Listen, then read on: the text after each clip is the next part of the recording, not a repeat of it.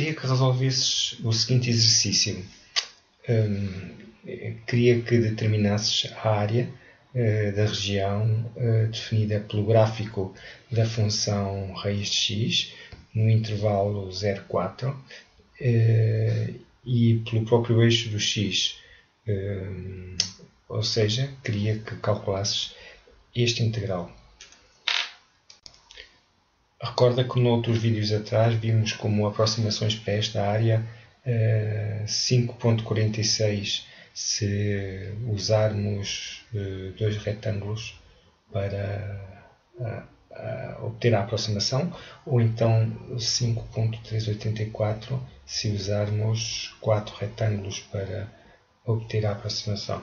Já agora, isto aqui são 5.44 unidades quadradas e 5.84 unidades quadradas, em que esta unidade é uh, representa uh, esta medida. Vamos agora uh, ver, estudar mais algumas propriedades dos integrais definidos. Uma dessas propriedades está enunciada aqui neste ponto 4 e ela diz-nos o seguinte: se tivermos uma função f de x, considera esta função com este gráfico, em que temos o eixo de x uh, aqui nesta linha.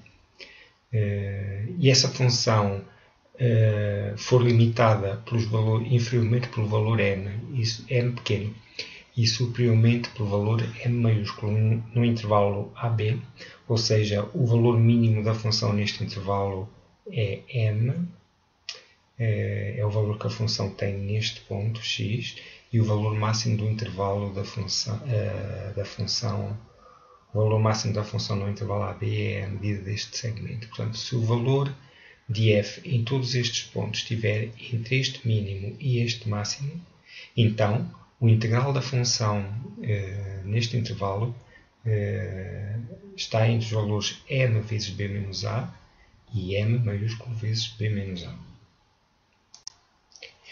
É fácil perceber este resultado, uma vez que eh, no intervalo AB, eh, o valor mínimo que esta função toma eh, é tomado aqui neste ponto. então, chamemos M à medida, à altura deste retângulo. A área deste retângulo é então a altura dele, que é M, vezes a medida deste segmento, que é B menos A e ela está expressa aqui eh, desta forma. Eh, depois, eh, o valor máximo que a função toma, ela toma aqui neste ponto, e se considerarmos um retângulo com esta altura, a medida deste lado é m, e a área deste retângulo ela é dada pela medida deste lado, que é m, pela medida deste lado, que é b menos a. E essa área está aqui eh, expressa desta forma. Eh, e é preciso observarmos aqui que eh, a área, eh, o valor do integral, o valor do integral corresponde à área delimitada pela função e pelo eixo do x, portanto a área desta região. E como podes ver, ela uh, é maior que m vezes b menos a porque a região contém este retângulo, mas é menor do que m maiúsculo vezes b menos a porque ela está contida uh, na região interior ao retângulo uh, maior. E isso justifica a desigualdade que está aqui expressa e que corresponde à propriedade 4 que vimos atrás. Outro resultado muito importante é o teorema da média, que nos diz que se uma função f de x é contínua no intervalo AB, então existe um ponto médio desse intervalo, um ponto intermédio, eh, C pertencente a AB, tal que o integral da função no intervalo é igual à medida do segmento, eh, à medida do intervalo, eh, pelo valor da função no referido ponto C.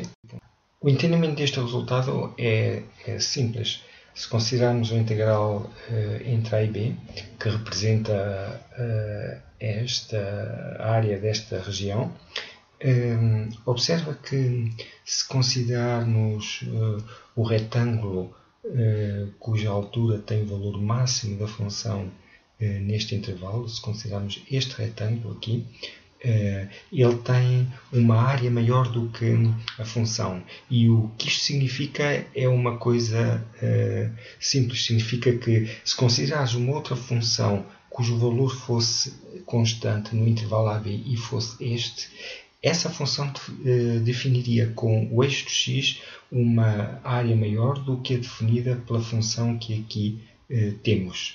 Um, ehm, por outro lado, se tivéssemos uma função cujo valor fosse zero, ou seja, cujo gráfico coincidisse com o eixo do x, essa função definiria uma área zero, portanto menor do que aquela que aqui temos. Ora, se uma função eh, com este valor constante define uma área maior do que eh, o integral de a até b, então se nós formos eh, baixando o valor que esta linha tem, ou seja, se formos considerando a função uma função constante com um valor aqui ou com um valor mais baixo, em algum ponto nós temos que ter uma, um, uma linha que defina uma área aqui que seja, que esteja alguns entre uh, esta área máxima, esta área maior do que esta região com uma área maior do que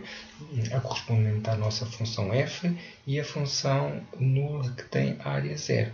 E se considerares então uma função cujo valor constante seja este, que valor é este? É o valor que a função assume aqui num ponto C. Portanto, eh, existe um ponto eh, C, tal que o retângulo definido pela altura correspondente ao valor que a função toma nesse ponto, que é esta, eh, multiplicado pelo, pela largura, pelo comprimento do segmento B menos A, define uma área que é igual à da integral definida da função entre a e b. E o valor f de c é o chamado o valor médio da nossa função.